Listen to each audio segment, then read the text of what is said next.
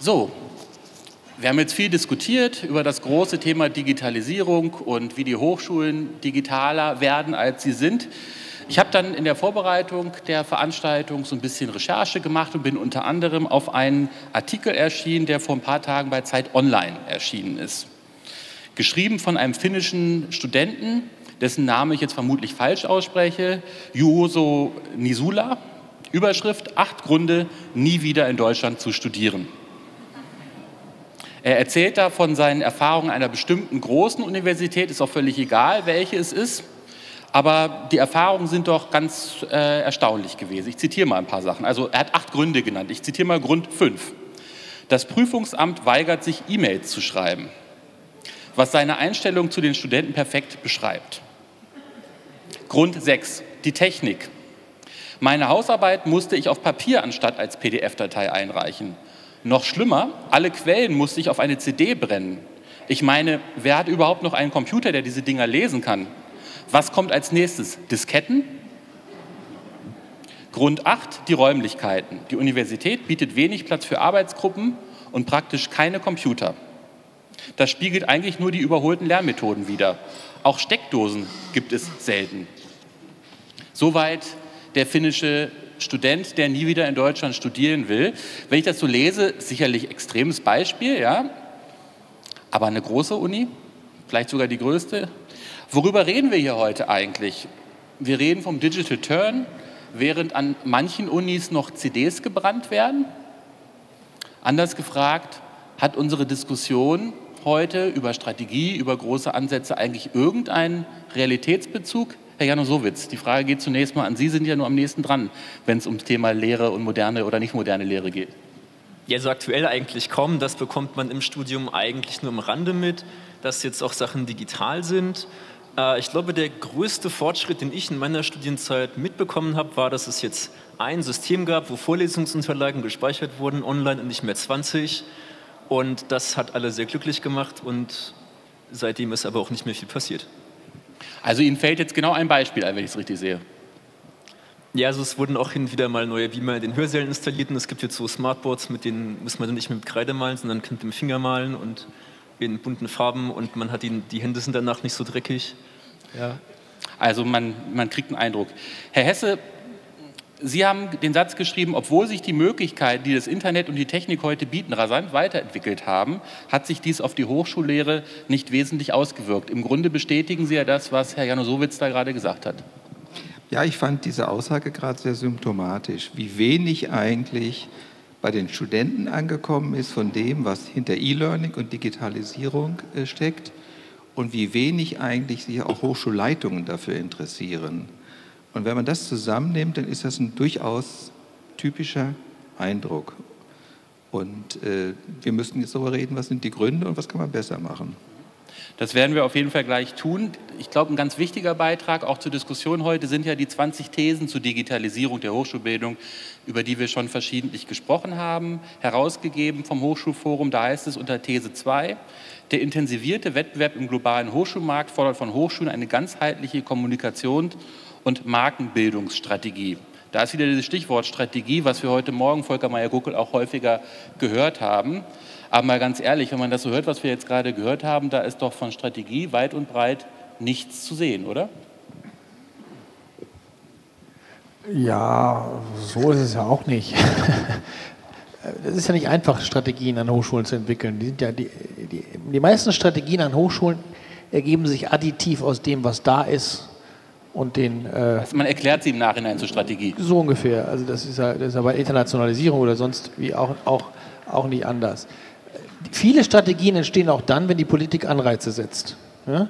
Das haben wir natürlich jetzt im Bereich der Lehre noch nicht so ausgeprägt wie im Bereich der Forschung. Da sind ja Strategiebildungsprozesse dadurch initiiert worden, dass plötzlich jemand gesagt hat, macht mal eine Strategie ja, und die wird dann in der dritten Runde der Exzellenzinitiative besonders gefördert. Das hat unglaublich viel bewegt. Insgesamt, das ist ja nicht nur eine Frage des, des digitalen Feldes, insgesamt ist die Lehre ja ein nahezu reformfreier Raum. Ja, also äh, die Forschung äh, ist klar, da geht es immer um das Beste, um, um das beste Gerät, um, um, die, um die beste Ausstattung, um die neuesten Methoden. Und bei der Lehre ist dieser Innovationsimpuls der Hochschulen seltsam wenig ausgeprägt. Und das zieht sich sozusagen mit dem Digitalisierungsthema fort. Ähm, und die Frage ist, ist das, ist, ist, kann man damit noch lange so umgehen? Das funktioniert ja irgendwie. Oder gibt es gewisse, äh, äh, gewisse Tendenzen, ähm, die die Hochschulen zwingen, sich langsam auf eine veränderte Welt einzugehen? Und jetzt will ich noch mal eine ganz andere Dimension Ihres, Ihres Wortes Realitätsbezug das, haben Sie, das war ja Ihre Eingangsfrage. Ist, haben wir überhaupt einen Realitätsbezug? Entscheidend ist doch das, was in der Gesellschaft passiert. Äh, in der Industrie, äh, in der Fertigungswelt, in, in, in nahezu allen Berufen, ja, die sich irgendwie durch Digitalisierung verändern. Sei es in ihren Geschäftsmodellen, sei es in ihrer Praxis, in ihrer, ihrer äh, Arbeitspraxis, sei es in ihren Kollaborationsformen, sei es in ihrer Art und Weise, auf Wissensbestände zurückzugreifen. You name it. Ja? Äh, das muss in irgendeiner Weise reflektiert werden, und zwar sowohl formal in der Hochschuldidaktik als auch inhaltlich. Okay. Das heißt, es muss reflektiert werden. Die Frage ist, wird es reflektiert, Herr Krausch? Wird das an den Hochschulen reflektiert oder ist es so, wie Volker Meyer-Guckel eben auch zum Ausdruck gebracht hat, dass in der Hochschullehre Veränderungen eben oft ein bisschen länger dauern? Das würde ja dann auch an der Stelle vielleicht gelten.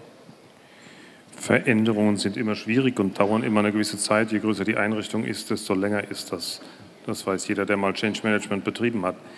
Ich kann allerdings naturgemäß in dieses Hochschulbashing nicht ein, einstimmen, was hier gerade äh, sozusagen die ersten Redner getan haben. Ich kann auch nicht von drei Erfahrungen auf 250 äh, Hochschulen in Deutschland schließen und feststellen, dass das allgemein so ist.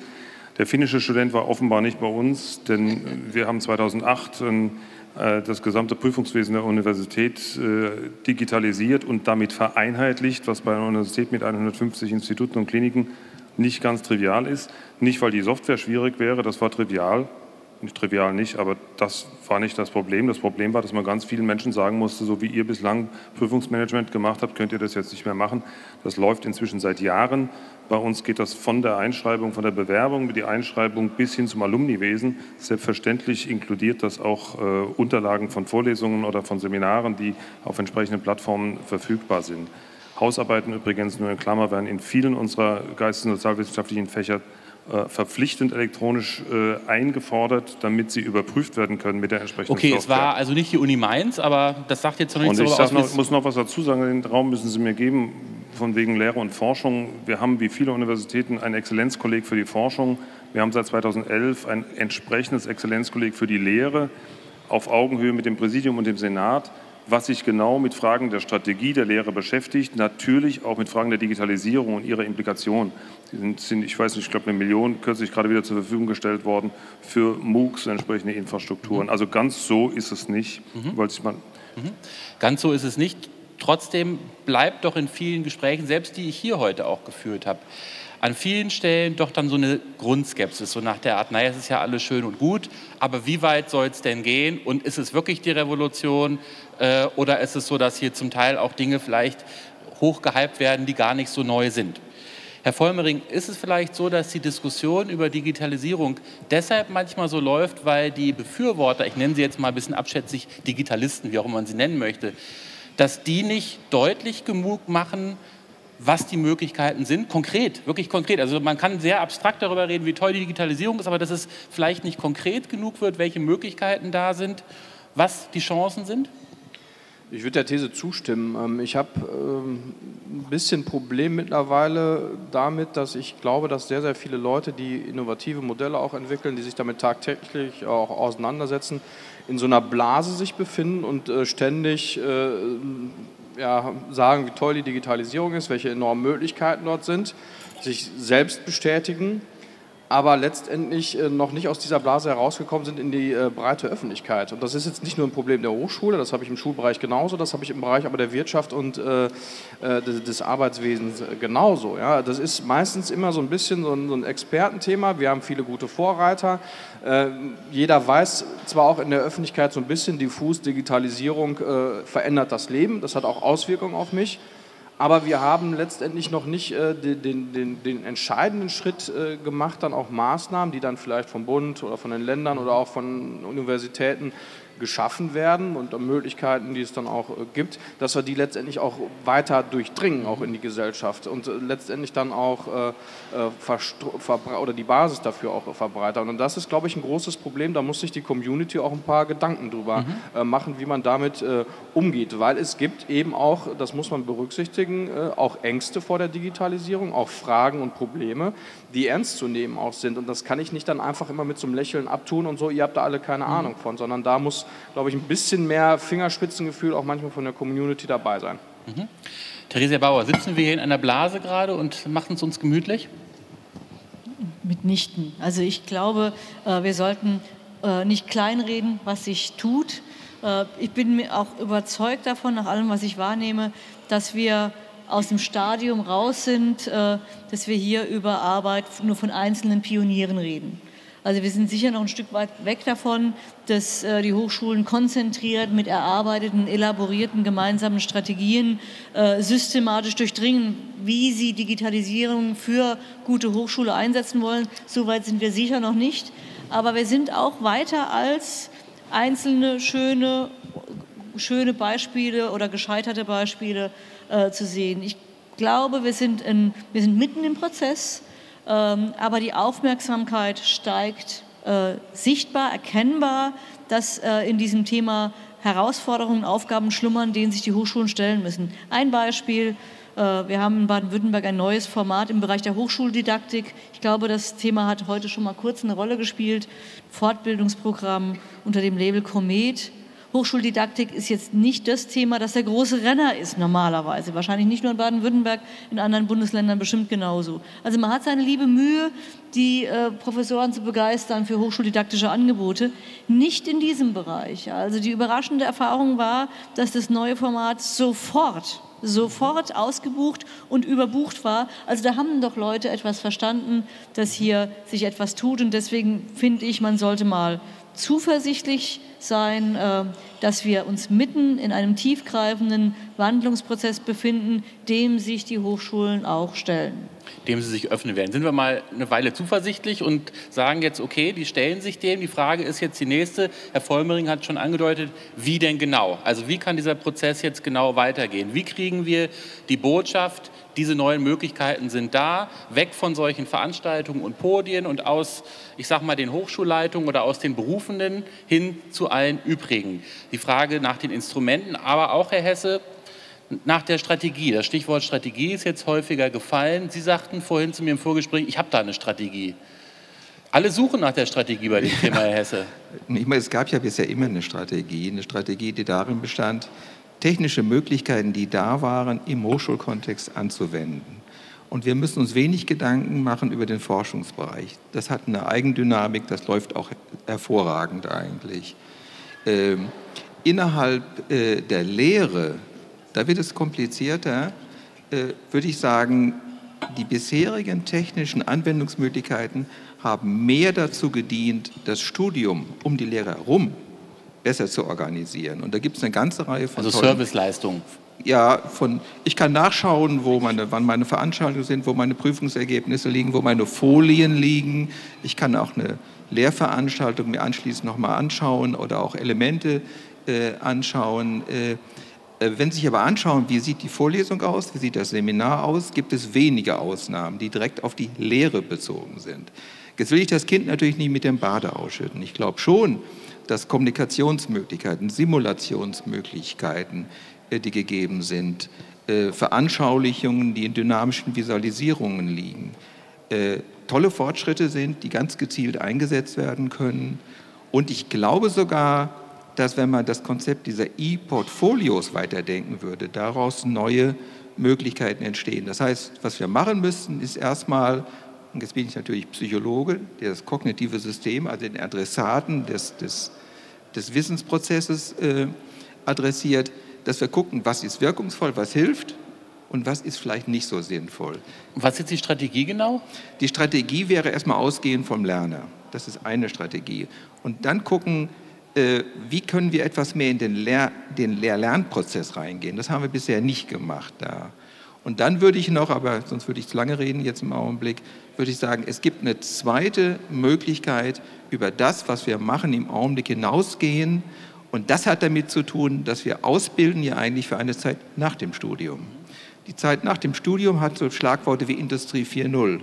Wenn ich jetzt mal Industrie 4.0 runterbreche auf eine kognitionspsychologische Sicht, dann heißt das eigentlich Arbeitsteiligkeit. Arbeitsteiligkeit zwischen dem, was die digitalen Ressourcen leisten und was ich als Experte leiste. Und das zurückzutragen in das Studium, das wäre eigentlich eine Strategie, die man genauer darstellen könnte. Stichwort Strategie, Herr Krausch.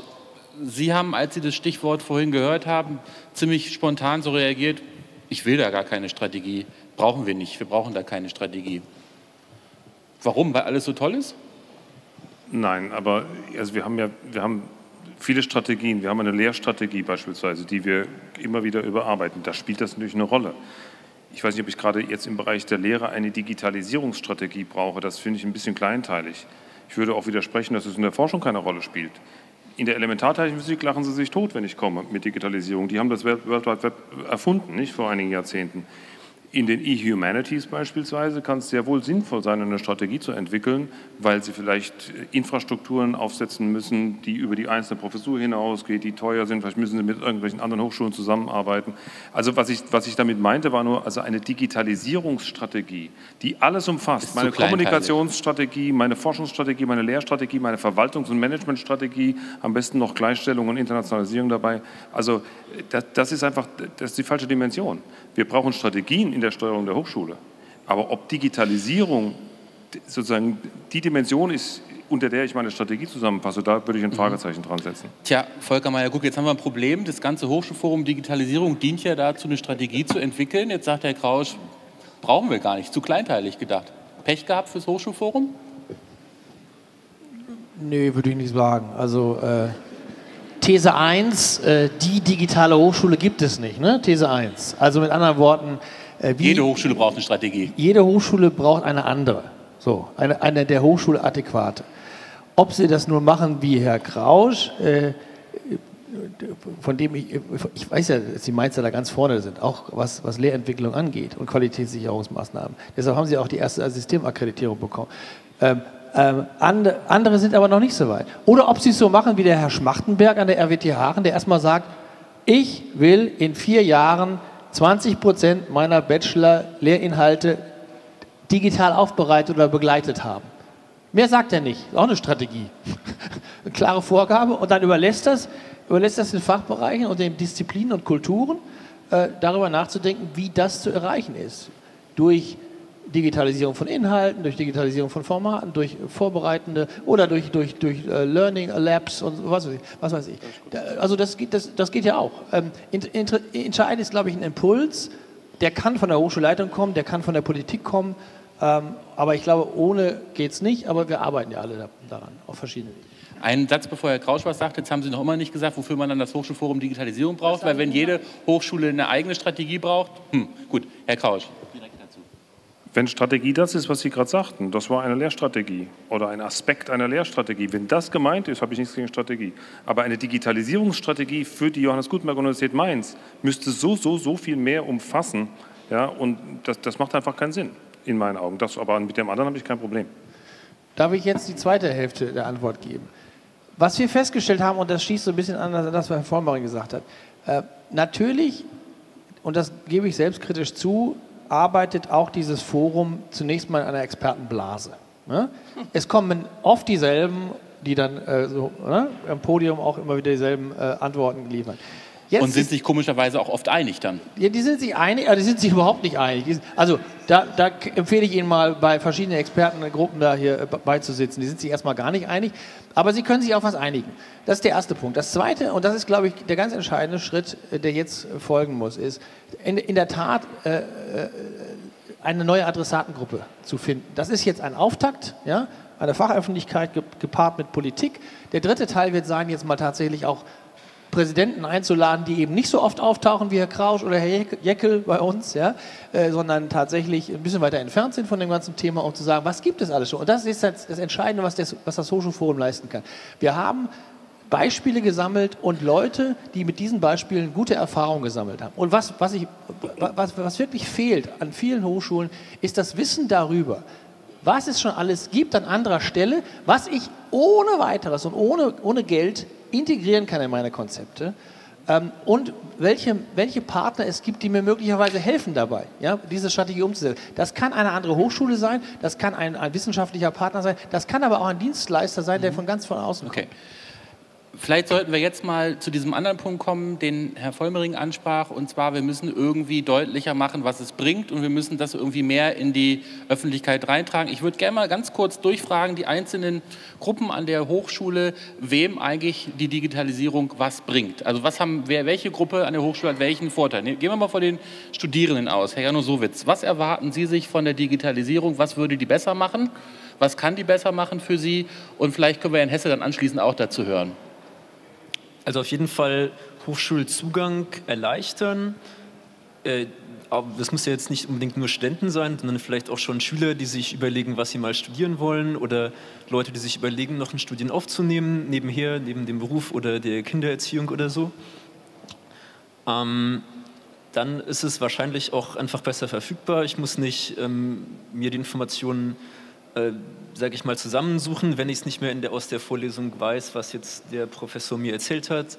Und muss ich, muss ich nicht ewig im Lehrbuch suchen und vielleicht steht es dann da gar nicht drin, sondern ich kann das idealerweise dann einfach mir nochmal angucken. Also im KIT gibt es das mit den Vorlesungsaufzeichnungen schon länger, aber das äh, richtige digitale Lernen macht ja nicht nur eine Aufzeichnung, sondern noch viel mehr, dass ich das dann noch besser finden kann. Ich könnte mir auch vorstellen, dass es ähm, ansprechender und zugänglicher und motivierender ist, wenn ich einfach sofort sehe, ich habe jetzt was gelernt, ich muss nicht mehr äh, bis zur Prüfung warten, um zu wissen, ob ich jetzt gerade mit dem Verständnis auf der Höhe bin oder doch einfach grundlegende Konzepte noch nicht verstanden habe. Ähm, und natürlich, dass man viel leichter auch in andere Bereiche von, von verschiedenen Fächern ähm, reingucken kann und das einfach mal sich angucken und ausprobieren, ob einem das zusagt oder nicht. Und nicht immer einen ganzen Studiengang wechseln muss oder sowas. Mhm. Also ganz viele konkrete, auch zum Teil kleinere Dinge, die aber dann den Alltag als Studierender erleichtern könnten. Herr Hesse, Thema oder These 9 in dem äh, äh, Papier, in dem Diskussionspapier lautet, der Einsatz digitaler Medien trägt zur Verbesserung der Hochschullehre bei. Vorhin haben Sie gesagt, bisher ist das nicht so, aber vielleicht sagen Sie auch noch mal, inwiefern ja. profitieren Studierende tatsächlich dann inhaltlich? Also ich glaube, in dem Sinne, wie es gerade gefordert worden ist, kann das, was bei E-Learning auch gelebt wird, schon vieles dazu beitragen. Äh, ich glaube nur, das wäre so mein Anliegen, wenn ich vorhin von Industrie 4.0 gesprochen habe, dann habe ich eine Eigenschaft herausgestellt. Die Eigenschaft, dass der Arbeitsteiligkeit eine Rolle spielt. Arbeitsteiligkeit zwischen Expertise oder ich nenne das Wissen im Kopf und Wissen in digitalen Systemen oder in digitalen Ressourcen. Und ich glaube, wir sind an so einer Schwelle heute, wo die digitalen Ressourcen so eine Ubiquität haben. Jeder hat so ein Ding dabei. Wenn wir jetzt fragen würden, wer hat keins dabei, dann würde niemand aufzeigen, weil jeder hat ein Handy oder auch einen Rechner in der Tasche. Oder traut sich nicht zu sagen, dass er es nicht hat. ja, oder so rum. Und äh, ich glaube, äh, dass man manche Elemente davon auch in das Studium einbringen könnte. Oder aber, indem manches, was bisher gelehrt worden ist und in den Kopf sollte, auch in digitalen Ressourcen sein könnte. Nur wir müssten dann die Verbindung hinkriegen. Ich nenne das kognitive Schnittstelle zwischen dem Wissen, was ich ständig nutzen kann, ubiquitär verfügbar, was ich im Kopf habe und im Hinblick auf die berufliche Situation. Und Industrie 4.0 heißt nicht nur das im Industriekontext, das gilt in der Medizin, in anderen Bereichen genauso, dieses Zusammenspiel, dass ich darauf vorbereitet werden soll. Wenn Sie heute einen fragen, was ist denn Medienkompetenz, dann haben wir auch wieder 35.000 Meinungen. Und wenn wir aber Ziele vorgeben, natürlich innerhalb von geschachtelten Strategien oder ähnlichem, äh, dann könnten wir ein bisschen genauer definieren, ja, was heißt denn Medienkompetenz? Und dann könnte man sie auch trainieren.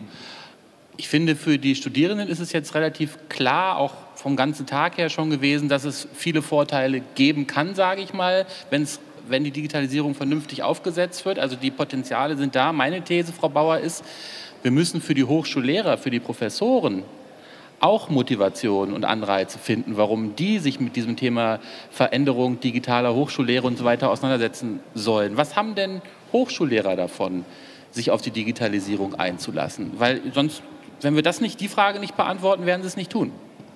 Also ich, bin ja überzeugt davon, Digitalisierung ist kein Ziel. Ja, wir bekommen neue Handlungsmöglichkeiten und müssen uns überlegen, Hochschullehrer müssen sich überlegen, was kann ich eigentlich mit diesen neuen Möglichkeiten für die Erreichung meiner Ziele äh, äh, erreichen. Jetzt ist die Lehre und gute Lehre ähm, ja oft nicht im Fokus äh, der Tätigkeit. Man hat mit guter Forschung ja wirklich alle Hände voll zu tun.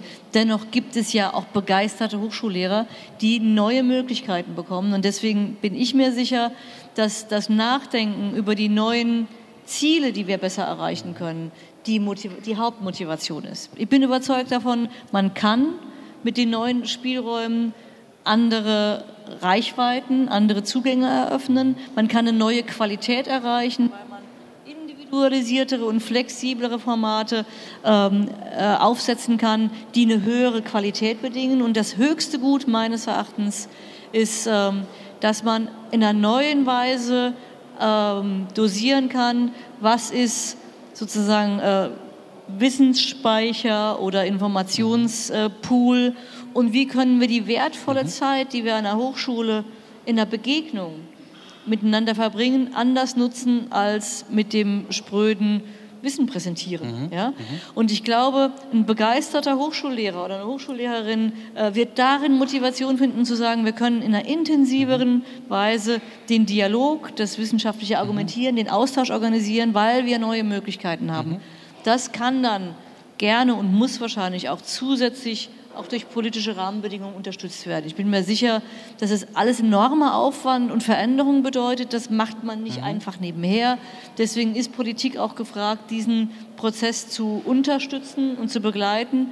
Aber ich bin auch sicher, mit Geld allein kriegen wir die gute Lehrformate eben nicht hin. Man braucht die, den Willen, den Wunsch, die neuen Qualitäten zu mhm. erreichen und die Politik über, muss es unterstützen. Über Geld werden wir gleich auch noch sprechen, aber vielleicht bleiben wir erst noch bei diesem Punkt, ähm, Herr Krausch, Sie haben sich, glaube ich, eben auch zu Wort gemeldet, sah so aus. Mein Eindruck ist ja, dass Frau Bauer bei, dem, bei der Zielgruppe, über die sie spricht, ja ganz bestimmte Hochschullehrerinnen und Hochschullehrer vor Augen hat, nämlich diejenigen, die man eigentlich gar nicht mehr ins Boot holen muss, die sich halt begeistern, auch für, für Lehre, die sich offen äußern für neue Veränderungen.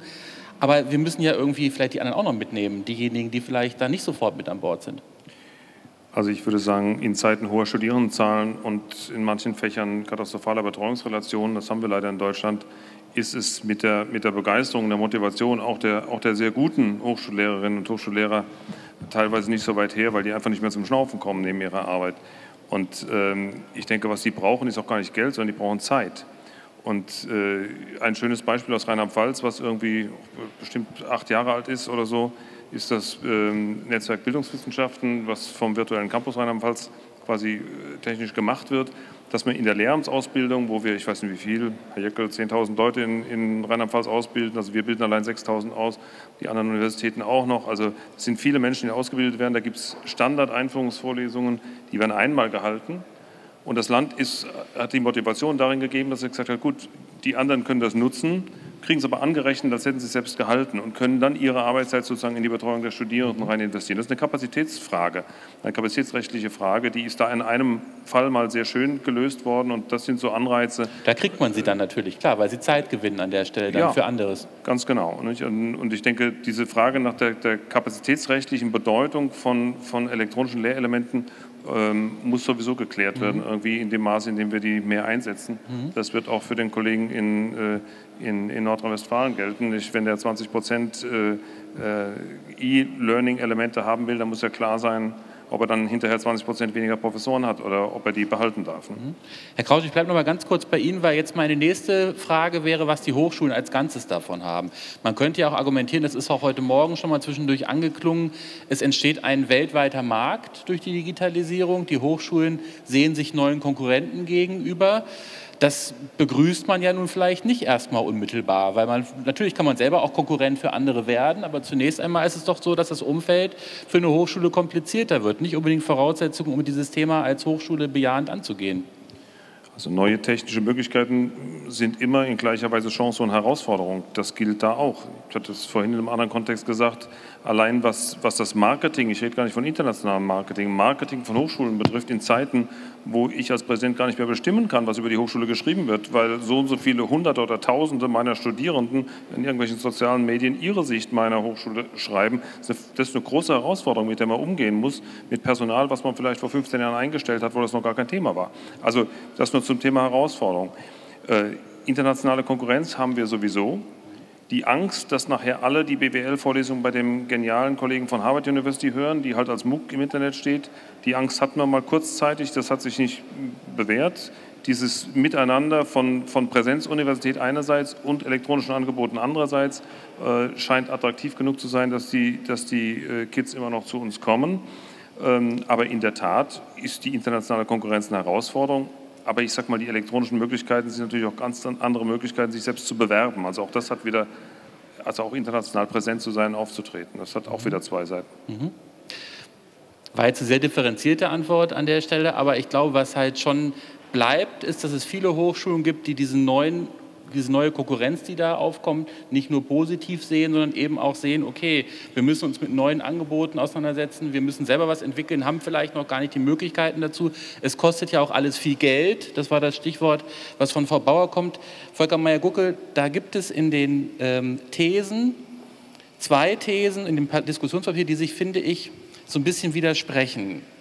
In These 14 heißt es nicht finanzielle Ressourcen, sondern die Hochschulstrategie entscheidet über Erfolg und Misserfolg im Digitalisierungsprozess. Und dann heißt es, glaube ich, in der, sogar in der nachfolgenden These 15, es braucht mehr Geld. Ist das ein Widerspruch? Und die Frage ist, wie teuer ist es und ist es am Ende eine Frage der Haltung der Hochschulen? Also können Hochschulen, wenn sie die richtige Haltung haben, die richtige Strategie haben, es schaffen so oder kostet es doch mehr Geld? Das habe ich nicht verstanden an dem Papier. Ja, das ist so ein bisschen ein Ausfluss der Widersprüchlichkeit in den einzelnen Gruppen. Nee, also ähm, was dahinter steckt, ist natürlich, also wir hatten das ja alles schon mal vor 15 Jahren. Da sind die UMTS-Millionen in die Hochschulen geflossen, viel Geld in wenig Strategie. Und wir haben viele Insellösungen bekommen, die dann schnell technisch überholt waren, die nicht vernetzt waren und so weiter und so fort. Diese Fehler muss man ja nicht nochmal machen. Äh, also ich, ich, interpretiere diese Thesen so, obwohl ich sie nicht alle formuliert habe, ähm, dass man sagt, ähm, äh, so, solange ich nicht irgendwie ein Konzept dahinter habe, wo ich eigentlich hin will, wofür ich das gebrauchen will, was, was, was Frau Bauer eben gesagt hat, also it's not an end in it itself, ja, äh, äh, nutzt mir auch viel Geld nichts. Andererseits muss ich natürlich verlässliche äh, verlässliche Finanzierungswege haben, um, um das anzugehen. Es nützt auch nichts, wenn es jetzt ja, im Sinne der digitalen Agenda plötzlich ein Dreijahresprogramm gibt, ja, wo, wo wieder viel Geld ausgegeben wird und danach ist es wieder weg. Ja? Also ich, ich, glaube, und das steht ja auch in einer These, äh, sowas muss dann auch in, in, dem Dialog mit den Hochschulen in Zielvereinbarungen und dann nachhaltig unterfüttert werden. Dass das, mhm. dass das was kostet, das ist doch, das ist doch gar keine Frage. Und, das sagt jeder, der sowas mal entwickelt hat. Und Herr Vollbring, ist das eine Aufgabe für den Bund oder für die Länder, wenn das was kostet?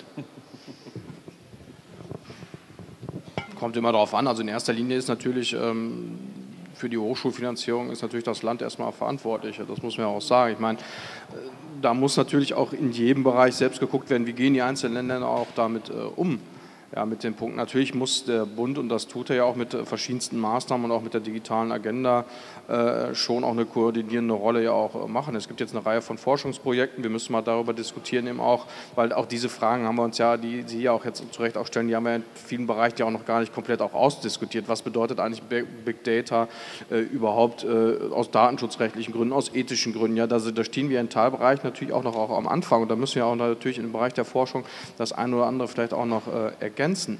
Was mich eigentlich an diesen gesamten Debatten immer so ein bisschen einfach äh, stört, ist, äh, und auch an dieser Debatte jetzt, die wir gerade auch gehabt haben, Strategie oder nicht, dass man den Begriff der Strategie manchmal einfach auch zu sehr ja, überbelastet auch, ja, dass man teilweise zu viel, zu detailliert äh, auch Sachen auch vorgibt. Ich persönlich wäre eher der Auffassung, dass man grobe Ziele vorgibt, dass man dann allerdings auch den Universitäten genug Freiheiten auch gibt, manche Sachen auch selbst dann auch auszuprobieren, manche Sachen dann auch selber auch mal zu testen und dort eben auch, wie gesagt, dieses eigene Profil dann auch als Universität. Das ist ein grobes Ziel, nur als Beispiel. Was wäre so ein grobes Ziel? Grobes Ziel ist ja, was ja zum Beispiel immer hier auch äh, angesprochen worden ist, ist ja die Frage, das ist ja das ganz, ganz große Thema, was ist jetzt eigentlich letztendlich mit der kompletten Medienkompetenz äh, überhaupt in Deutschland? So wie die ICLS-Studie hat gezeigt, wir stehen dort relativ schlecht dort. Sondern das ist natürlich eine Frage, die, die betrifft die Schulen, die betrifft die Hochschulen, weil natürlich dort im Bereich der Lehrer Aus- und Fortbildung eine Menge auch äh, geschehen muss. Die betrifft allerdings genauso auch die Wissenschaft. So, wenn ich jetzt doch dieses große Ziel dann auch erkenne, und das ist ja auch äh, Sinn unseres Antrages gewesen, den wir auch jetzt im Bundestag ja auch verabschiedet haben, zu dem Thema, dass wir eine Strategie digitales Lernen dann auch entwickeln, dann erwarte ich dann auch, dass man sich zumindest dann auch mal auf Bundes- äh, oder auf Mindeststandards dann auch einigt und die man dann zumindest mal dann auch letztendlich dann auch äh, durchsetzt. Und Wer einigt sich? Die Länder einigen sich darauf. Länder unter Koordinierung auch des Bundes, deswegen haben wir ja gesagt, durchaus mal über nachdenken, wie sieht es aus mit einem Staatsvertrag, ja, neue Wege da auch letztendlich gehen, damit man auch nicht immer die ständigen Debatten über Kooperationsverbot auch geht. Aber nichtsdestoweniger einfach nicht überlasten. Ja. Einige wichtige, zentrale Punkte festlegen, dann den Universitäten auch Freiheiten auch äh, geben. Ich glaube, das, das bringt in Teilbereichen auch äh, mehr und dann auch mehr Fortschritt, mhm. weil es natürlich auch mehr Wettbewerb unter den Universitäten mhm. bringt. Wenn ich mehr Wettbewerb auch habe, habe ich auch wieder weiter auch mehr Innovation, ja, weil da stimme ich natürlich schon einigen hier auch zu. Es ist natürlich schon auch sehr, sehr viel auch auf einem guten Weg, was oftmals ja auch gar nicht auch erkannt mhm. wird. Aber die Fragen müssen wir uns trotzdem da auch äh, äh mit Sicherheit äh, stellen. Mhm. Aber Politik muss einfach dann dafür auch sorgen, und das ist eben auch Aufgabe, dass ja eben auch die Baustellen, die dann erkannt sind, auch da sind. Mhm. Urheberrecht haben wir jetzt noch nicht darüber diskutiert, Breitbandausbau, da müssen wir halt Voraussetzungen auch äh, schaffen. Aber es kann letztendlich dann auch nicht immer sein, dass die Politik der Hauptverantwortliche dafür auch ist, dass dann das alles konkret dann auch äh, funktioniert, sondern die äh, entsprechenden Arbeiten, die müssen dann auch letztendlich dann auch gewollt mhm. sein vor Ort. Sie haben jetzt ganz elegant so ein bisschen das Thema weggewechselt vom Geld. Wir kommen nachher nochmal zum Geld zurück. Zunächst Herr Meier-Gucke, dann Herr Hesse. Also ich, ich würde gerne jetzt Ihren ersten Satz nochmal aufgreifen. Dafür sind natürlich in erster Linie die Länder verantwortlich, haben Sie gesagt. Und das stimmt natürlich im Grundsatz. Für die Lehre sind die Länder verantwortlich. Aber hier funktioniert das nicht mehr. Hier funktioniert das nicht mehr.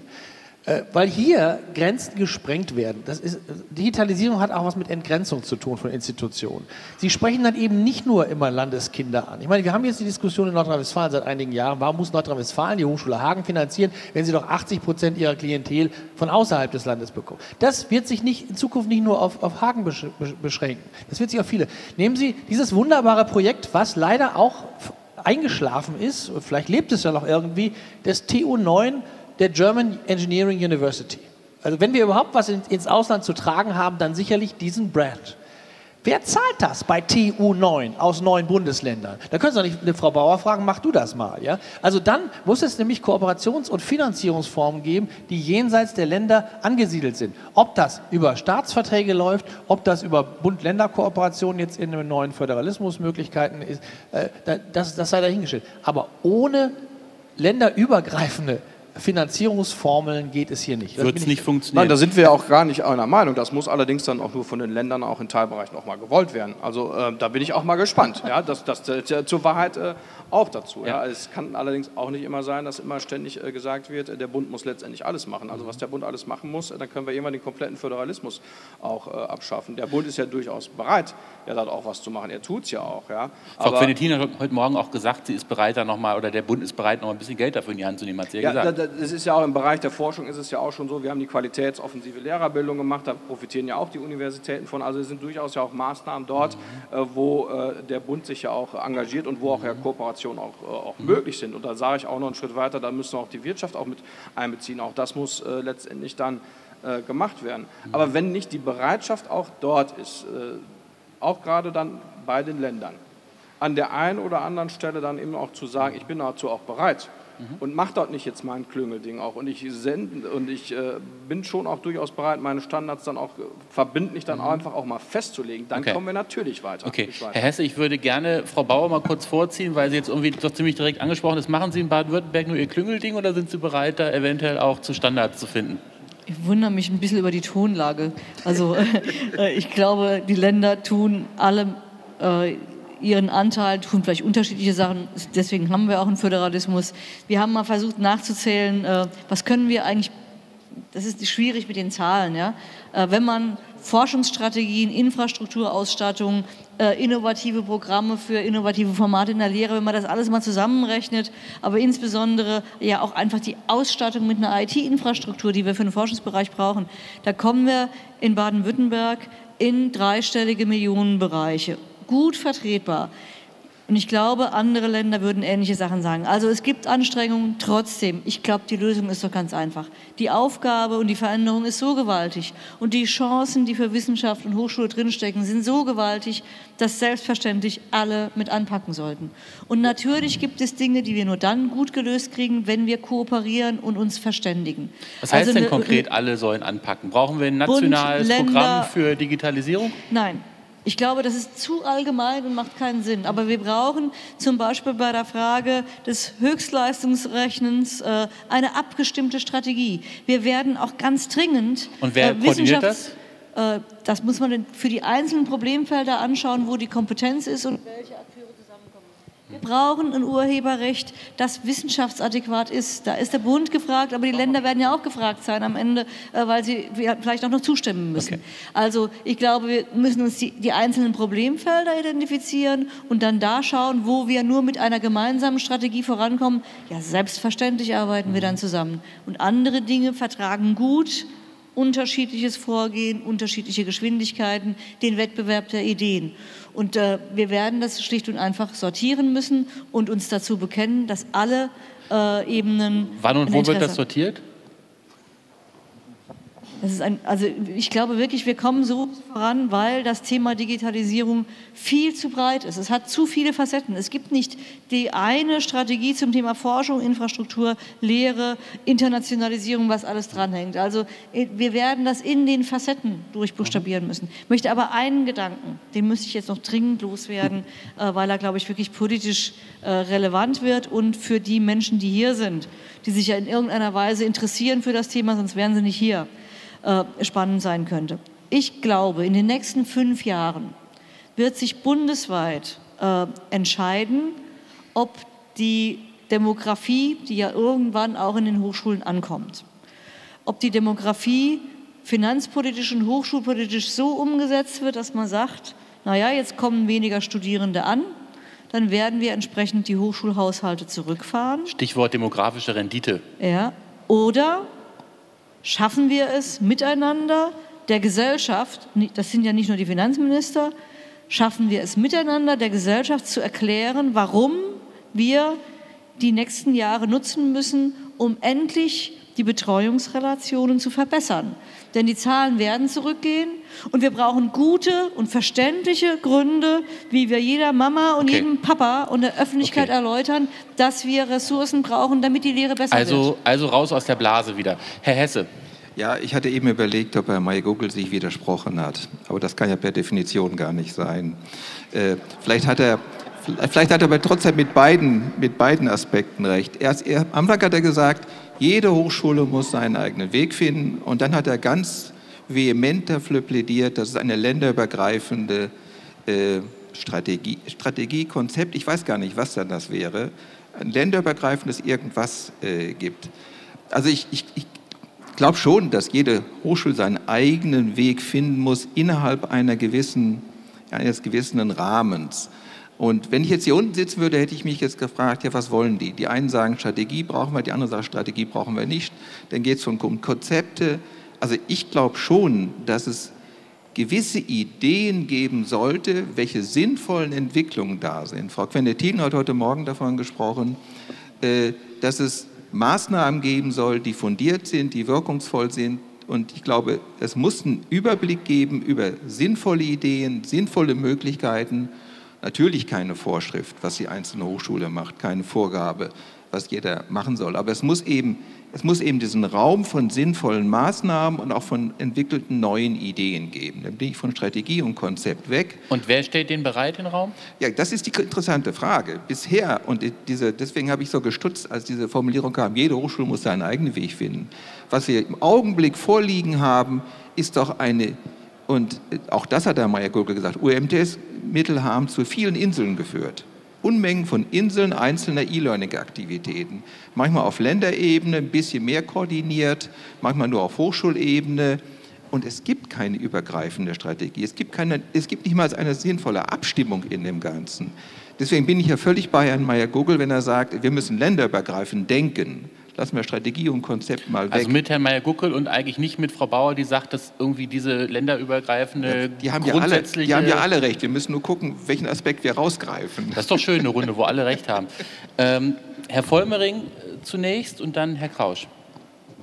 Ich meine, Frau Bauer hat jetzt gerade die Tonlage angesprochen, aber die Tonlage muss ja auch äh, mal so sein, dass wir trotzdem auch mal kritisch auch anmerken dürfen, auch aus Sicht des Bundes, wenn etwas nicht läuft. Wir haben jetzt die große BAföG-Reform gemacht und wir haben die Länder in vielen Bereichen auch entlastet.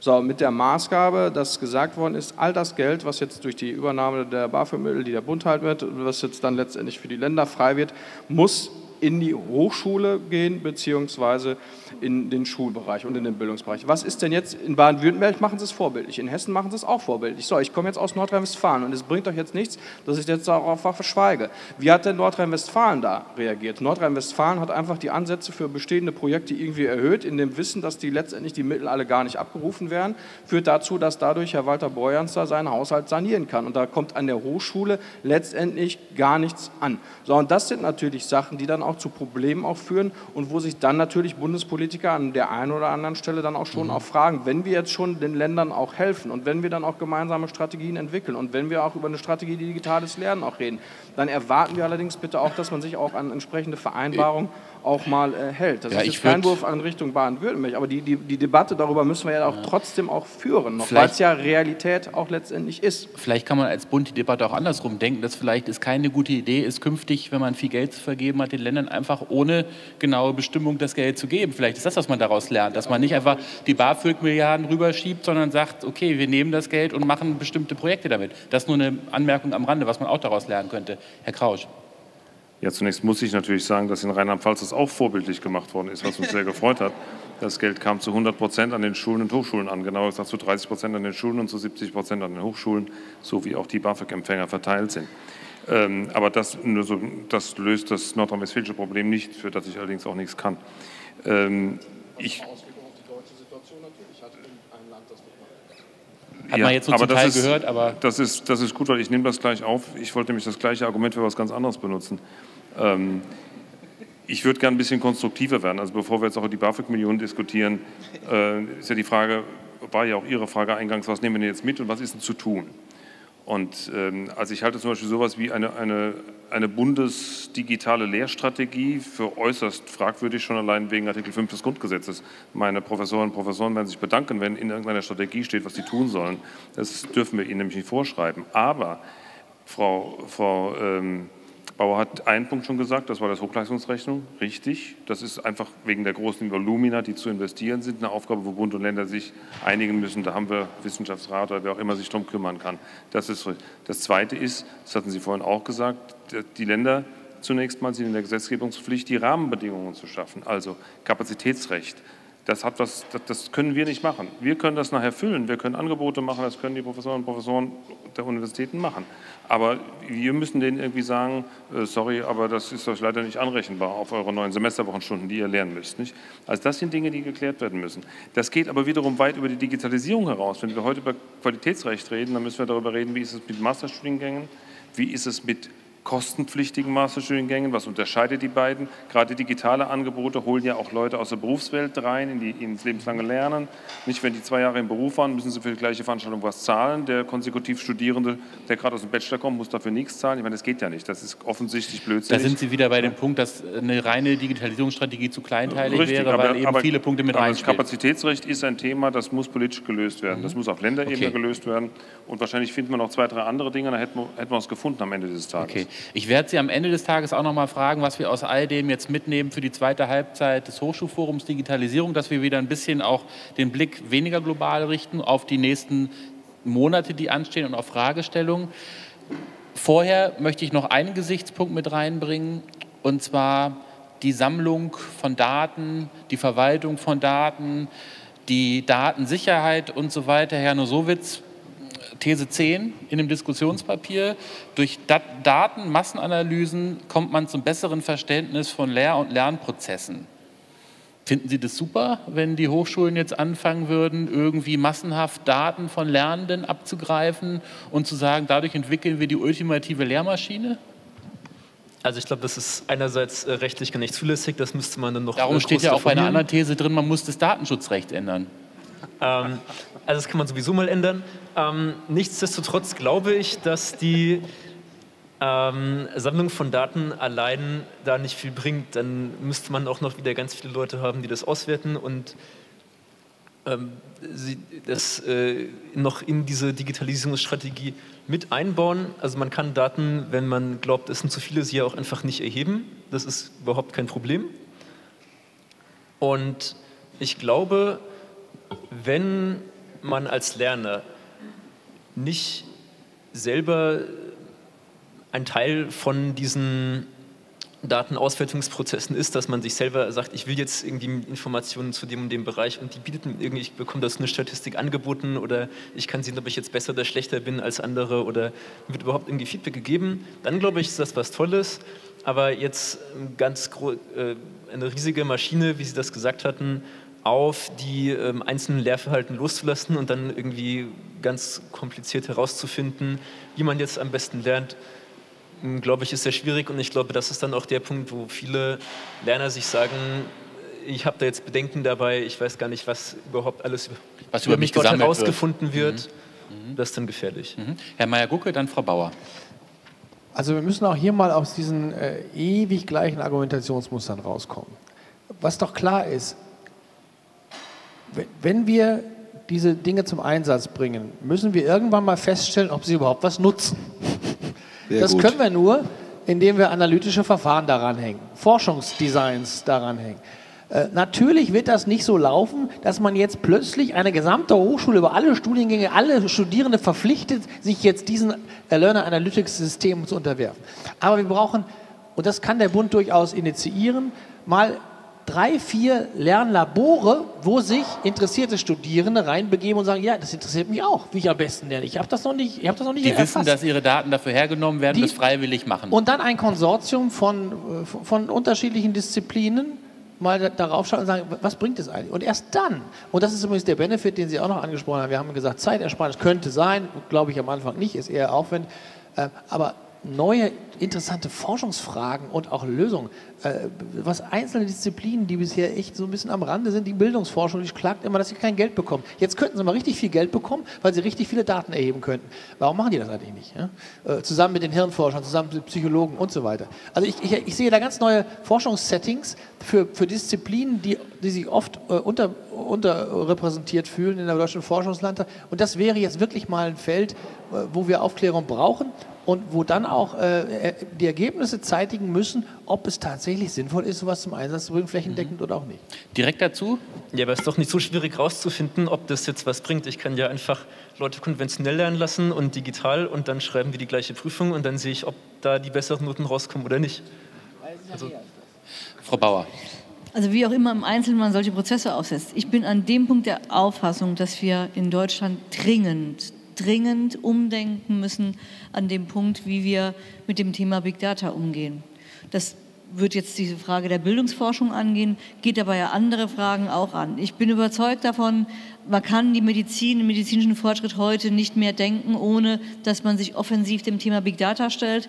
Ich bin überzeugt davon, dass wir die Geisteswissenschaften ganz anders agieren können lassen, die Sozialwissenschaften übrigens noch viel stärker, wenn wir Zugänge zu Daten schaffen und die Rechte einräumen und die Möglichkeiten eröffnen, dass man die Daten aufbewahren kann, kombinieren kann, weiterverwenden kann.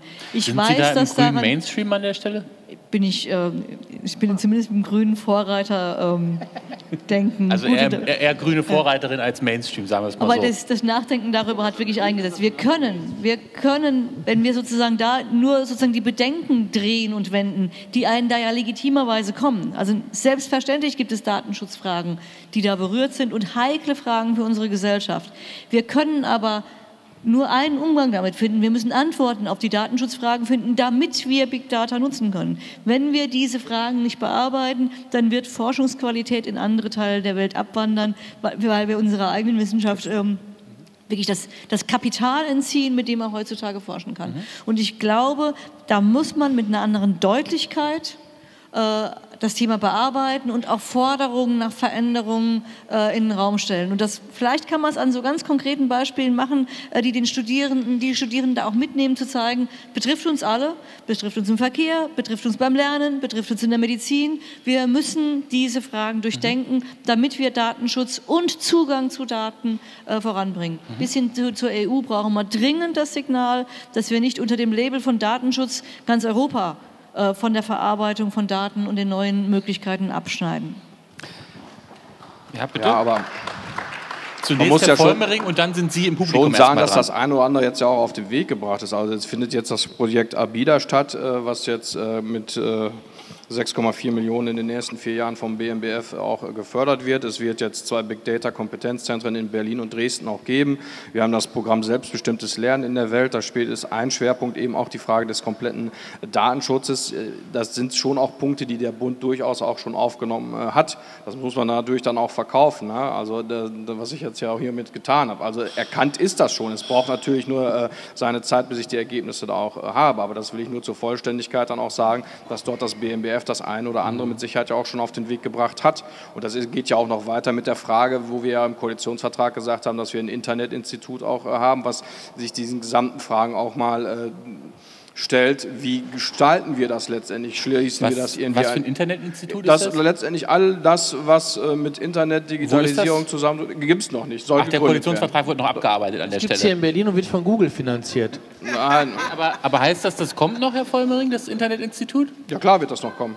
Okay, gut. Also da arbeiten wir gerade in der Koalition auch dran. Also wir arbeiten den Koalitionsvertrag schon Punkt für Punkt ab. Und ich meine, äh, wir haben jetzt, äh, die Koalition hält vier Jahre, wir haben jetzt knapp die Halbzeit.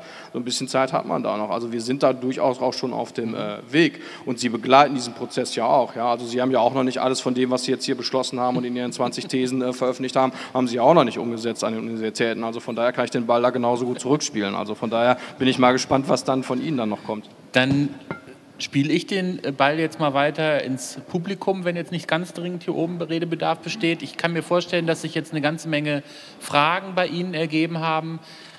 Wenn es geht, kurze Fragen, damit wir vielleicht mehr als zwei, drei Leute rannehmen können. Möglichst wenig Kommentare, wenn dann nur ganz kurze Kommentare, sodass wir dann die Möglichkeit haben, wirklich noch eine breite Diskussion hinzubekommen. Es müsste eigentlich auch ein Mikro unterwegs sein, haben Sie es irgendwo gesehen? Sonst äh, mache ich mich auf den Weg. Wie sieht es aus? Kommt, kommt. Und äh, die erste Frage. Ähm, Achso, Sie haben schon eine Frage. Ja, Wunderbar. genau, genau. Sagen Sie noch mal kurz immer Ihren Namen dazu, auch wenn Sie es schon mal gesagt haben. Philipp Höllermann, Internationale Hochschule Bad Honnef, private Hochschule, insofern äh, vom Artikel 5 nicht so stark betroffen wie andere Einrichtungen, zum Glück. Denn äh, da war meine Liste mit dem Bullshit-Bingo ehrlich gesagt voll. Ähm, der Artikel 5 hält ja für jede Menge her, aber der Artikel 5 kann auch nicht dafür herhalten, mit einer modernen Technologie äh, sich zu verweigern. Die Arbeit mit einer modernen Technologie sich zu verweigern. Ich glaube nicht, dass ein Professor mit gutem Gewissen eine Schiefertafel nehmen kann und argumentieren kann, das sei seine Freiheit äh, in Lehre und Wissenschaft. Und haben Sie das Gefühl, Stelle. das passiert viel? Ja, natürlich. Dieser Artikel 5 gilt immer wieder als Top-Eingriffsverhinderung okay. im Bereich E-Learning. Und äh, das Zweite, was ich sagen wollte zur Strategie. Wer sagt, man braucht keine Strategie, der muss mal an die Stellen gucken, wo eine Hochschule kein starkes Rektorat hat oder keine starke Leitung hat, die Digitalisierung befürwortet. Dann gibt es überhaupt keine Möglichkeit auf irgendeiner Ebene wirklich mit Elan diese Digitalisierung zu verfolgen. Mit einer Strategie habe ich wenigstens ein Papier, auf das ich verweisen kann, mhm. wenn ich nicht eine Leitung habe, die ich im Rücken habe. Okay. Und das ist ein ganz wichtiger Punkt, der diese Strategie auch wirklich leisten kann, wo wir was bewegen können. Und an der Uni Mainz sind vier verschiedene Learning Management Systeme im Einsatz. Das kann natürlich eine Strategie sein, aber es kann auch davon zeugen, dass die Strategie doch nicht so weit geht, wie man denkt. Alles klar. Also ich glaube, die Frage geht jetzt eindeutig an Herrn Krausch in mehrfacher Hinsicht. Also äh, bis dahin, dass bei dem, was Sie jetzt gesagt haben, doch auch ein Professorenbild durchdringt, was jetzt nicht nur eins von Innovationsfreude ist. Wie ist das so mit Ihrem Professorenbild bei Ihnen an der Uni? Ach, wir haben natürlich tolle Professoren, aber äh, ich, ich, möchte gerne darauf antworten. Jetzt bin ich kein Jurist, ich kann die Frage nach dem Grundgesetz kann ich nicht beantworten. Äh, ich kann Ihnen aber sagen, dass es Schiefertafeln gibt. Also Sie haben offenbar keine Mathematik studiert, aber die Mathematiker und nicht nur die Mainzer legen großen Wert darauf, ihre Vorlesungen an den Tafeln zu entwickeln. Bin sicher, dass das nicht nur bei uns so ist. Und ist das gut und soll das so bleiben? Das ist eine, eine, Fachkultur, das hat was mit Geschwindigkeit des Nachdenkens zu tun, mit Komplexität dessen, was man an die Tafel schreibt und so weiter. Ich weiß es nicht. Ich habe nie den Bedarf gehabt, unsere Mathematik ist sehr gut, habe nie den Bedarf gehabt, da irgendwie einzugreifen. Ähm, ich, ich glaube nur, und das ist ja das, was wir aus der ganzen Evaluationsgeschichte lernen, nicht, sie evaluieren und, und irgendein Dozent macht einen ziemlichen Blödsinn und so. Was können sie machen? Sie können dann hingehen und können sagen, die Studenten sind der Meinung, sie machen ziemlich einen Blödsinn an der und der Stelle, können sie sich mal besser machen. Und dann kann der sagen, ja, ich werde mich anstrengen. Oder der kann sagen, stimmt, ich verwende jede Woche unterschiedliche Sets. Mal normalen Buchstaben, mal griechische weil das ja nur Stadtplatzhalter sind für die physikalischen Symbole und weil genau das sollen die Studierenden lernen. Das war didaktisch eine Katastrophe, da würden alle Didaktiker einstimmen, aber man hat wenig, also rechtliche Möglichkeiten. Was ich, hab, ich bin auch nicht der Meinung, dass man keine Strategie haben soll und Mainz hat, glaube ich, eine ganz starke Hochschulleitung. Wir haben auch Strategien, ähm, aber wir haben keine Digitalisierungsstrategie. Die Digitalisierung selbst als Dimension sozusagen quer durch alle sonstigen Themen der Universität zur Strategie erhebt. Wir haben halt eine Forschungs- und eine Lehrstrategie. Da, kurz, so viel vielleicht dazu. Kurz nachgefragt, aber wenn Sie eine starke Hochschulleitung sind, warum sagen Sie Ihren Professoren nicht, jetzt macht mal? Macht mal ein bisschen digital. Also wir machen das ein bisschen anders, weil wir haben uns äh, übrigens äh, unterstützt, war es nicht auch vom Stifterverband, dem Thema Führung an Hochschulen gewidmet, haben einen Preis dafür gewonnen, ähm, haben eine universitäre Leadership entwickelt. Deswegen sagen wir nicht, komm, mach mal, sondern haben andere Instrumente, das zu tun. Aber selbstverständlich reden wir. Wir haben ein Exzellenzgremium, was sich damit beschäftigt, moderne Lehre weiterzuentwickeln, innovative Lehrformate zu entwickeln. Selbstverständlich. Und das wird an einem Dies Legendi, haben auch kaum eine Universität, ein Tag der Lehre, so wie der Dies Academicus für die Forschung da ist, ein Tag der Lehre, einmal im Jahr wird das vorgestellt der Universitätsöffentlichkeit. Da werden die besten Projekte prämiert und dargestellt. Also mhm. es passiert schon ein bisschen was, aber das ist die Art und Weise, Einfluss zu nehmen und nicht zu kommen und sagen, mach mal, zumal ich nicht mal dienstvorgesetzt bin, das ist die Frau Ministerin. Herr Hesse und dann die nächste Frage. Äh, vielleicht nur ganz kurz. Also ich glaube, niemand sollte fordern, dass es eine Digitalisierungsstrategie gibt. Es geht um die Funktionalitäten, die mit den modernen Technologien und in der Entwicklung des 21. Jahrhunderts möglich sind. Und wenn es digitale Tools sind, nimmt man die. Und wenn es die Tafel ist, und das ist in vielen Fällen aus den eben genannten Gründen sinnvoll, nimmt man was anderes. Ich glaube, es geht nur um die Funktionalitäten. Und dann noch vielleicht ein Hinweis auf diesen Artikel 5. Ich bin auch kein Jurist. Ich glaube, man kann keinen Hochschullehrer zwingen, ist sowieso schon die falsche Formulierung. Man muss Anreize schaffen, man muss Motivationen schaffen.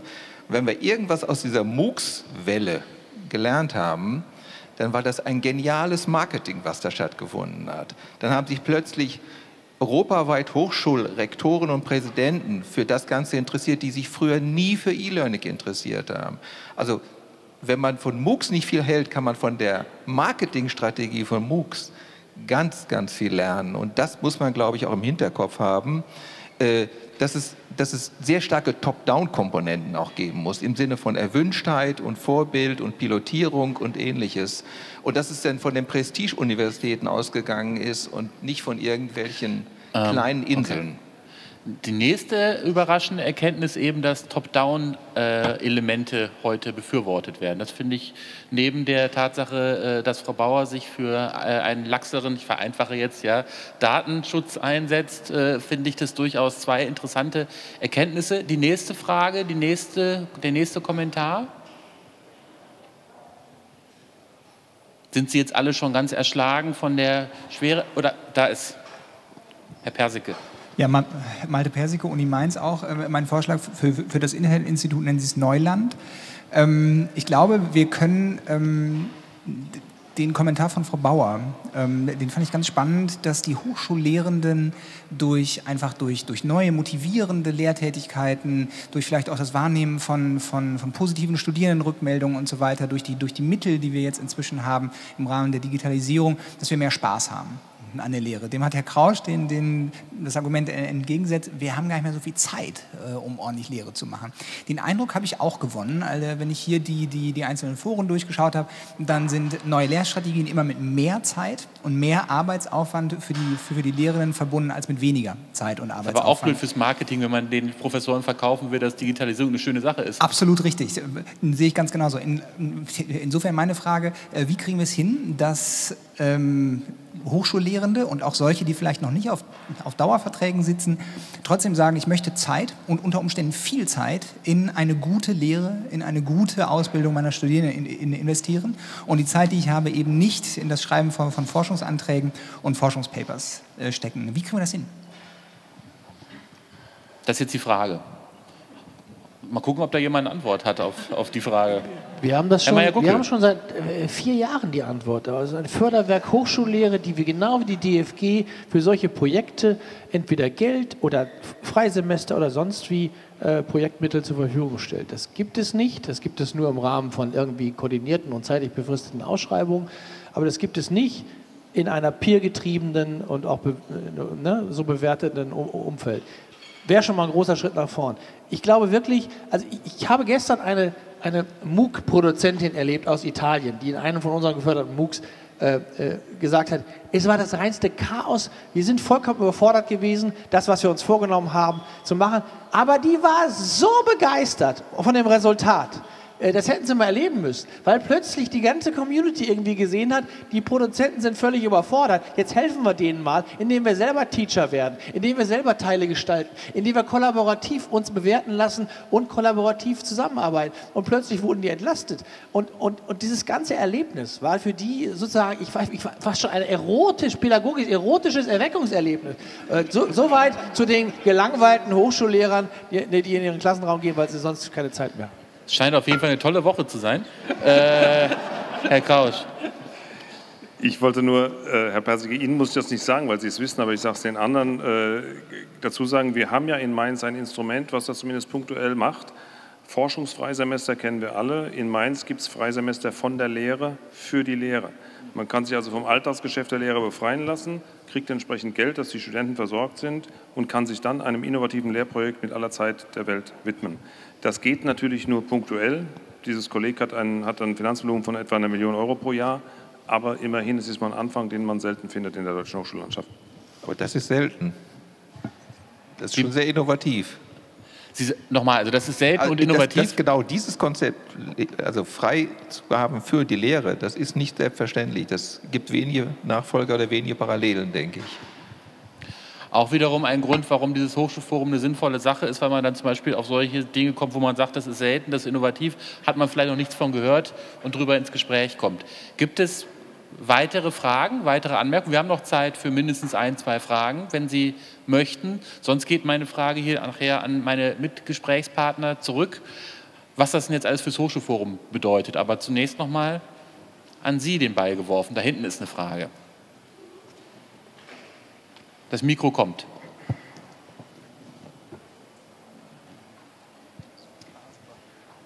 Danke schon, ist schön, schon weniger anstrengend. So, Stefan Wiesbauer, Lektorie nochmal. Ähm, ganz spezielle Frage ähm, zum Kontext Flüchtlinge, wo Sie ja alle irgendwie wieder eine andere Perspektive haben. Ich bin neugierig, ob die Uni Mainz da auch schon betroffen, betroffen ist. In der Politik macht man sich sicher Gedanken. Ähm, haben Sie da konkrete Pläne, Beispiele, äh, wie man mit dieser ganzen Problematik umgeht. Wir machen zum Beispiel Videolernen. Ich denke mal, irgendwie Videolernen mit syrischen Untertiteln könnte ja helfen, aber irgendwie ist es eine spannende, offene Frage für mich. Mhm. Gerade heute ging ja auch in den letzten Tagen ging das Beispiel der Kiron-Universität durch die Medien als äh, Möglichkeit, über Crowdfunding eventuell da Strukturen aufzubauen, wie eben Flüchtlinge, die keine Papiere bisher haben, ähm, universitäre Erfahrungen sammeln können und dann später an Anführungszeichen normale Universitäten und Hochschulen zu wechseln. Aber die Frage an Herrn Krausch vielleicht zunächst, ist das ein Thema, sicherlich ein Thema, worüber Sie in Mainz im Augenblick viel reden? Das ist ein Thema, über was wir in verschiedener Hinsicht reden. Wir haben der Stadt Mainz zum einen Wohnraum angeboten, den wir am Campus noch haben. Ähm, dort werden vermutlich äh, Wohngruppen reinkommen von Jugendlichen, die ohne Eltern hier angestrandet sind. Äh, unsere Studierenden haben schon gesagt, dass sie sich da gerne beteiligen wollen in vielleicht einer persönlichen Betreuung. Äh, im, Im Bereich Aufnehmen von Studierenden oder potenziellen Studierenden, das werden wir in Rheinland-Pfalz über die Studienkollegs abwickeln. So ist die Planung im Augenblick. Das ist noch, sind noch im Gespräch mit dem Ministerium. Das heißt, die Leute werden kommen in die Studienkollegs, sollen dort, wenn es nötig ist, sehr intensiv Deutschunterricht kriegen und dann eine ganz reguläre Zulassungsprüfung machen, so wie alle ausländischen Studierenden, sodass sie sich hinterher nicht mehr unterscheiden können, weil wir der Meinung sind, dass das für die, äh, für die Menschen, die kommen, das, das Beste ist. Frau Bauer, dann Herr Vollmering. Also ich erlebe zum Glück äh, in unseren Hochschulen ganz große Aufmerksamkeit für das Thema und ähnlich wie in der Gesamtgesellschaft diese Bereitschaft, sich mit anzupacken, ja, wohl wissend, dass das ja nicht nur irgendwie nett und schön ist, sondern auch sehr schwierig, äh, erlebe ich in unseren Hochschulen das Interesse zu sagen, was können wir beitragen. Ähm, das, wir bauen inzwischen flächendeckend Strukturen auf der, und Beratungsexpertise, um die besonderen Fälle von Studierenden und von Flüchtlingen, die studieren wollen, auch kompetent beraten zu können. Ein Schlüsselthema ist, wie äh, Herr Grausch schon sagte, die Frage, wie kann man schnell genug die entsprechende Sprachkompetenz entwickeln? Es ist wichtig, dass die Studierenden, die womöglich ja schon ein Studium begonnen hatten oder gar schon eins absolviert haben, dass sie Zugänge zu Intensivangeboten haben. Wenn die die normalen Integrationskurse durchlaufen, verlieren sie Zeit ähm, und sie brauchen auf hohem Niveau Deutsch und sie müssen es auch schnell machen können. Dazu müssen wir entsprechende Strukturen jetzt aufbauen, damit wir die äh, vielen begabten Menschen, die in unseren Einrichtungen sind, äh, auf die richtige, sozusagen auf die Schnellspur auch bringen können. Äh, und ich gehe jetzt mal davon aus, hoffe sehr, dass bei den Verständigungen in diesem Monat zwischen Bund und Ländern auch Ressourcen für Sprachkurse zur Verfügung gestellt werden. Und wir sollten dafür sorgen, dass es eine Extralinie gibt, die ankommt, hochschulnah, damit Deutsch für künftige Studierende ein eigener Zweig wird. Unsere Erfahrung in Baden-Württemberg, wir haben ja ein kleines Stipendienprogramm aufgelegt äh, im letzten Jahr für syrische Flüchtlinge, einfach um mal Erfahrungen zu sammeln, äh, wer ist eigentlich da, wie viele sind da, wie viel Interessen und wie viel Potenzial ist vorhanden. Wir wurden nahezu überrannt von Anträgen aus diesen Einrichtungen heraus, und zwar qualitativ absolut hochwertigen Bewerbern. Wir haben mit dem DAAD zusammen entsprechende Bewertung der Papiere und auch Auswahlgespräche gemacht, und wir waren bass erstaunt, wer da ist.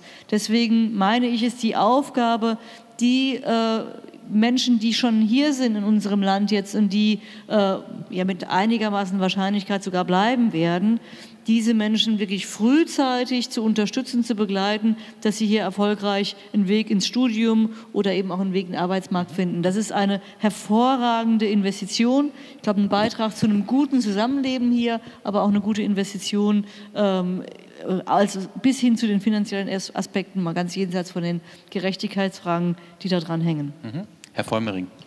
Kann ich alles unterschreiben. Also die Fraktionen haben jetzt auch in dieser Woche ja getagt und es ist ja auch im Bereich der Bildungspolitik sicherlich das eine oder andere auch zu tun. Wir haben ja jetzt vor ein, zwei Tagen ja auch äh, den äh, wir, wir schaffen ja zum Beispiel auch die Dekade für Alphabetisierung. Ja, all das sind jetzt so Einzelmaßnahmen, die natürlich jetzt äh, nochmal äh, umgeswitcht werden in Teilbereichen, wo man eben auch die Flüchtlings- äh, oder das gesamte Thema Integration von Flüchtlingen natürlich dann auch mit äh, auf die Tagesordnung auch setzt. Ja, und da versucht man jetzt also auch mit Sicherheit in den nächsten vier sechs Wochen, bis dann die Verhandlungen ja dann auch äh, hoffentlich zum Abschluss äh, gebracht worden sind, das eine oder andere auch mit Sicherheit auch aufzunehmen, um das letztendlich dann auch langfristig überzuführen, weil natürlich allen bewusst auch ist, welche Chancen und Herausforderungen damit auch verbunden sind und dass das mit Sicherheit eine Daueraufgabe wird. Aber das Thema ist mit Sicherheit komplett auf der Agenda. Mhm. Ja, herzlichen Dank auch, dass Sie diesen Punkt nochmal gebracht haben, weil das natürlich einer ist, der wirklich, wofür die Digitalisierung, E-Learning und all das perfekt geschaffen zu sein scheint, würde ich mal sagen. Wir machen jetzt eine kleine Abschlussrunde hier auf dem Podium. Wir haben jetzt hauptsächlich über Digitalisierung an den Hochschulen gesprochen, ohne immer den expliziten Bezug zu haben zum Hochschulforum. Das ist auch richtig so. Das Hochschulforum ist ja auch nur ein Mittel zum Zweck. Aber wenn wir jetzt sagen, was ist der Zweck in der zweiten Halbzeit? Wenn Sie jetzt also einen Wunsch äußern können, etwas mitgeben können, wo Sie sagen, ist alles schon schön und gut, was ihr jetzt gemacht habt, aber die verbleibende Zeit fänden wir es schön, wenn er vielleicht noch in die Richtung geht, euch um dieses oder jeden Aspekt kümmert. Also im Grunde nutzen Sie die Gelegenheit und geben Sie dem Hochschulforum vielleicht noch ein bisschen Hausaufgaben mit auf den Weg. Ich fange mit Herrn Hesser an. Also mein Plädoyer ist, glaube ich, ganz einfach. Mich würde es interessieren, wenn eine stärkere Konzentration auf das Lernen, auf die Wissensprozesse stattfinden könnte. Wie kann man dazu beitragen, dass äh, das Wissen leichter erworben wird oder in besserer Weise so erworben wird, dass es nutzbar wird? Und welchen Beitrag leistet da, leisten diese Werkzeuge, die mit Digitalisierung verbunden sind, äh, dafür, äh, ich würde sagen, für die Forschung würde ich mir keine Sorgen machen, dass man da Strategien braucht und ähnliches, das glaube ich. Aber da ist die Motivation der Beteiligten so groß, dass da viel läuft. Für die Organisation rundherum, Studium, wo ich was nachgucken kann, ist auch schon viel geschaffen. Aber für mich bleibt übrig, die Unterstützung der Wissensprozesse und das vielleicht auch ein bisschen neu zu denken. Mhm. Da würde ich mir Ideen wünschen. Mhm. Herr Janosowitz. Ähm, ich würde Digitalisierung gerne an der Hochschule verwirklicht sehen. Und ich glaube, was das Hochschulforum dazu beitragen kann, ist herauszufinden, wo es denn eigentlich gerade hakt. Wir haben jetzt in dieser Runde sehr viel gehört, ähm, wer etwas noch zu tun hat, ähm, wer schon etwas getan hat, ob das jetzt ausreicht oder nicht, ob das jetzt ein Problem ist oder nicht. Und ich glaube, das sind aber die grundlegenden Fragen, weswegen dann auch Herr Krausch sagt, wir machen das jetzt aber nicht oder es geht nicht oder wir können uns das nicht leisten. Und diese Fragen zu klären und ähm, darauf, also damit dann zu erarbeiten, dass die Verantwortlichen ihr Verhalten an der Stelle ändern, um Digitalisierung der Hochschullandschaft zu ermöglichen, das glaube ich, kann dieses Forum leisten. Herzlichen Dank, Herr Janosowitz. Frau Bauer.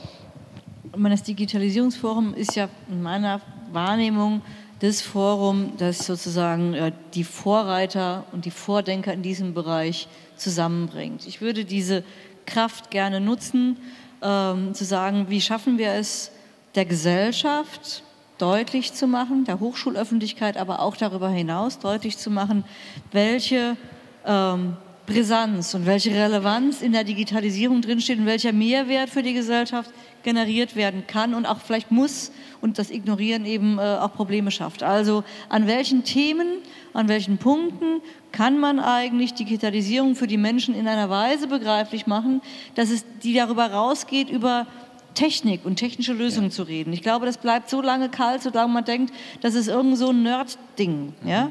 Ähm, vielleicht also an den Fragen, an denen es oder vielleicht auch ein bisschen, ja, also ein bisschen, weil es auch kontrovers wird. Die Dinge rauszustellen und zu zeigen, Deswegen brauchen wir für die Digitalisierungsfragen Antworten und Formate, weil es unsere Gesellschaft betrifft und die Menschen tagtäglich betrifft. Mhm. Also stärker, meines Erachtens müssen wir etwas stärker an die Inhalte dieses Transformationsprozesses mhm. heranrücken und ein bisschen äh, weniger Blick auf mhm. technische mhm. Äh, äh, Formate und, und, und, Lösungen lenken. Mhm. Also im Grunde wieder dieses Thema raus aus der Blase hin zur Konkretisierung für die Leute vor Ort, die dadurch verstehen, was sie eigentlich davon haben, was es ihnen bringt. Herr Krausch.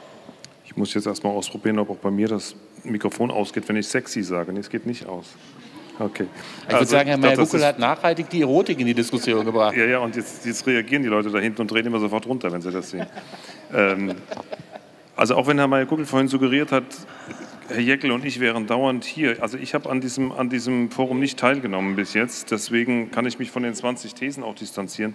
Das will ich gar nicht tun. Aber von ich, allen? Ja. Nee, ich wollte sagen, ich habe sie nicht gemacht und ich könnte sie auch nicht alle unterschreiben.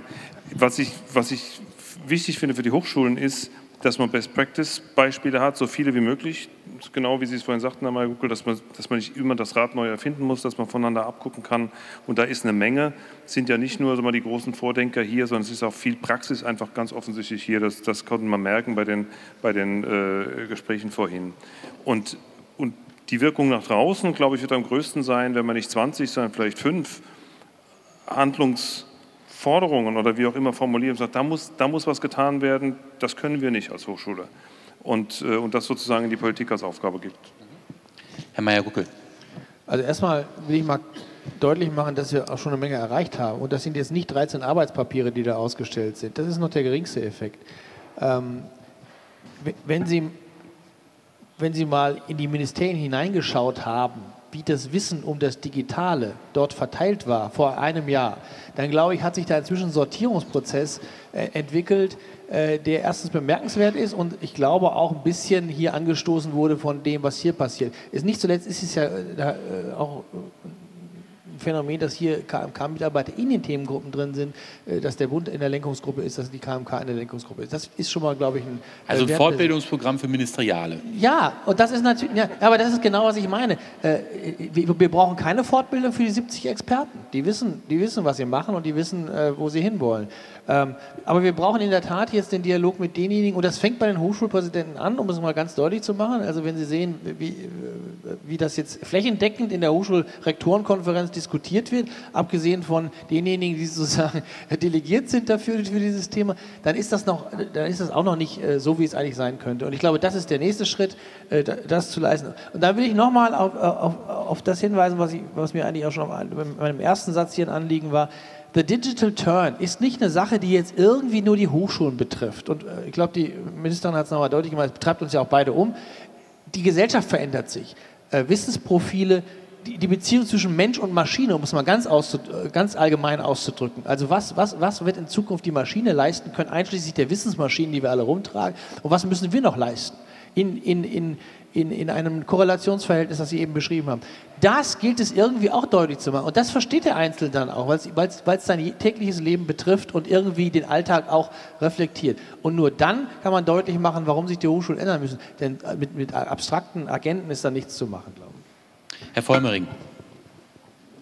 Ja, für mich war das jetzt besonders sexy, äh, dass äh, alle schon das gesagt haben, äh, was ich irgendwie auch hätte sagen wollen. Von daher kann ich mich meinen Vorrednern anschließen und kann einfach die Gelegenheit nutzen, Ihnen natürlich auch mal an dieser Stelle ein herzliches Dankeschön zu sagen für die Arbeit, die Sie jetzt auch schon geleistet haben, die ja wirklich bereichernd auch ist. Und von daher machen Sie da einfach weiter so, konkretisieren Sie den einen oder anderen Punkt vielleicht dann noch mit konkreten, mit Forderungen dann auch an die Politik. Und ansonsten herzlichen Dank dafür. Mhm.